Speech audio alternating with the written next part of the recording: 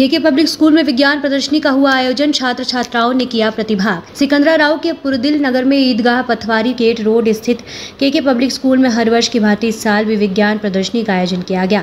विज्ञान प्रदर्शनी में स्कूली बच्चों ने प्रतिभाग किया, जिसमें छात्र छात्राओं ने अलग अलग तरीके के प्रोजेक्ट तैयार कर अपनी प्रतिभा दिखाई, जिसमें बालक बालिकाओं द्वारा वाटर हार्वेस्टिंग प्रोजेक्ट एवं इलेक्ट्रिसिटी प्रोजेक्ट और मस्तिष्क के प्रोजेक्ट बनाकर तैयार किए गए। साथ ही केके पब्लिक स्कूल के प्रिंसिपल ने बताया कि विज्ञान प्रदर्शनी का इस पहल से बच्चों का मनोबल बढ़ता है। कहाँ रहती है बेटा? आप कौन सी क्लास की स्टूडेंट है? जैसे कि आपके द्वारा एक वाटर हार्वेस्टिंग का एक प्रोजेक्ट बनाया गया है। इसकी क्या विशेषता है कैसे इसका यूज़ किया जाता है?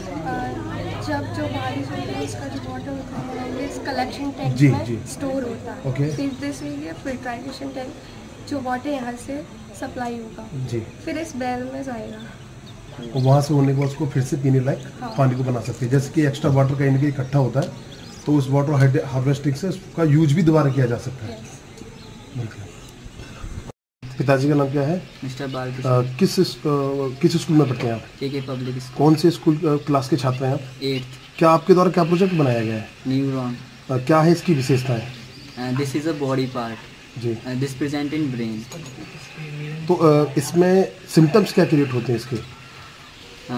This it is send message to your brain to you allow to do everything okay yes sir आपका नाम क्या है? जी मेरा नाम राहुल प्रजापति है।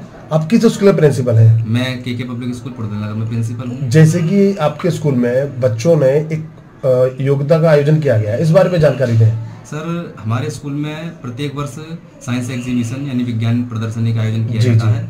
और इस वर्ष भी उसी को आगे हम ले जा रहे हैं। और इस बार विज्ञान प्रदर्शनी का आयोजन करवा रहे हैं। तो इस आयोजन बच्चों ने बहुत अच्छे अच्छे मॉडल बनाए लगभग कितने बच्चों ने पार्टिसिपेट किया है इसमें? इसमें लगभग पचास बच्चों ने पार्टिसिपेट किया है। बच्चों ने बहुत मेहनत की है बहुत क्रिएटिविटी दिखाई है अपनी बहुत अच्छे अच्छे मॉडल बनाए हैं तरह तरह के मॉडल बनाए हैं। और मॉडल एक से एक प्रेरणा देने वाले मोटिवेशन मॉडल हैं प्रोजेक्ट हैं।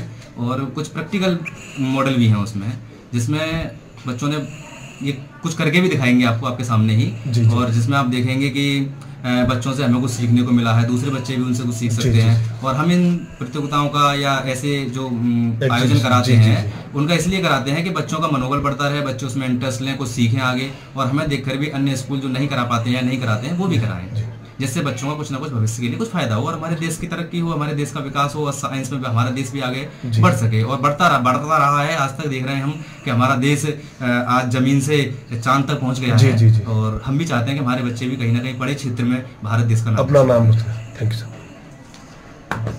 स्पीड कुछ ज़्यादा है।